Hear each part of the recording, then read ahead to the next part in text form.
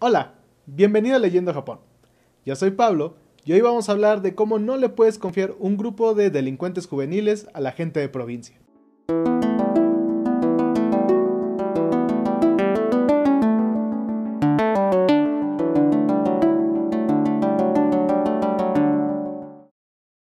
Kensaburo Oe es toda una institución en el mundo literario. Es el mayor exponente del Watakushi Sotsetsu actualmente y pues no falta mencionar que es premio Nobel de Literatura. En 1958, Oe está empezando su carrera con el pie derecho. Su ópera prima, La Presa, ha ganado el premio Kutagawa, el cual es el más prestigioso de todo Japón. En este libro, él trata de expresar un episodio de su vida durante la Segunda Guerra Mundial. Después de esto, ese mismo año, decidiría hacer una novela completa, ya que su libro anterior solamente se clasificaría como novela corta. El resultado sería Arrancar las semillas, fusilar a los niños. Un texto impactante por todas partes. La historia está narrada por un protagonista anónimo, un adolescente que vive en un reclusorio juvenil junto a su hermano menor. Debido a los bombardeos sobre las grandes ciudades de Japón, ellos son trasladados junto con otros 13 jóvenes de sus edades a las provincias. El grupo de adolescentes sería llevado a una pequeña aldea en el corazón de Japón, donde los montañeses no lo recibirían con mucho gusto ya que empezarían los choques culturales entre la gente habituada a la vida rural y estos jóvenes de las grandes ciudades. Al poco tiempo de esta convivencia, los chicos se verán solos, abandonados por toda la gente del pueblo, ya que al parecer hubo un brote de peste, y encontrarán entre un montón de cadáveres de animales notas que les dicen que han sido abandonados y si se acercan a las villas donde ellos se han recluido, se les va a disparar. Después de asimilar su situación, nuestro protagonista tomará liderazgo, reagrupando a su grupo y viendo qué hay en las casas. Ahí encontrarán a una niña de 12 años que fue abandonada junto a los cadáveres de sus padres que murieron por la peste. Así como va creciendo el grupo, también van a crecer las dificultades.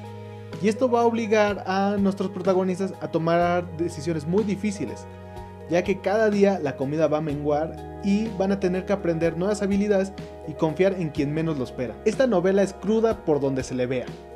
Nos va a mostrar al ser humano haciendo todo lo necesario para sobrevivir. E igualmente nos va a mostrar cómo la sociedad vive una guerra interna por tratar de tener los escasos recursos que le deja la máquina de guerra. Sinceramente me recordó mucho a otro clásico de la literatura universal, El Señor de las Moscas de William Golden pero no creo que haya habido eh, algún intento de plagio entre una y la otra, ya que si bien El Señor de las Moscas se publicó cuatro años antes que este libro, realmente no fue conocido hasta muchas décadas después, por lo que creo que solamente coinciden en tener la misma primicia.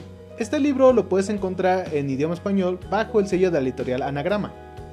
Y si vives en la Ciudad de México, lo puedes tomar prestado tanto de la Biblioteca Vasconcelos como de la biblioteca de nuestros amigos de la Fundación Japón en México. Eso ha sido todo por hoy. Esperamos tus comentarios. ¿Ya leíste este libro? ¿Te gustó? ¿No te gustó? Tú dinos. Y también esperamos tus recomendaciones. Si te gustó este video, regálanos una manita arriba. También suscríbete para más contenido y comparte con tus amigos. Nos vemos en el siguiente Leyendo Japón. Yo soy Pablo y me encuentras en mis redes sociales que aparecen aquí en la pantalla y abajo en la caja de descripción. Y recuerda, leer es vivir mil vidas en una sola. Mátane. Es como. me, recordaron una de las cosas que nunca olvidaré de la carrera. Fue un cabrón que literal me hizo este. plagio antes de entrar a, este, a, la, clase. Habíamos leído un libro.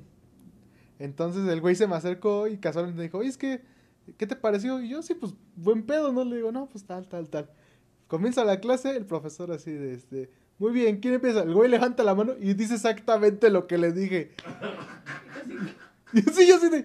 ¿Really?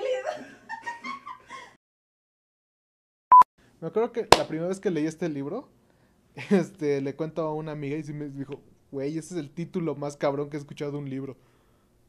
Arrancar las semillas, fusilar a los niños, quemar las cosechas y violar a las mujeres.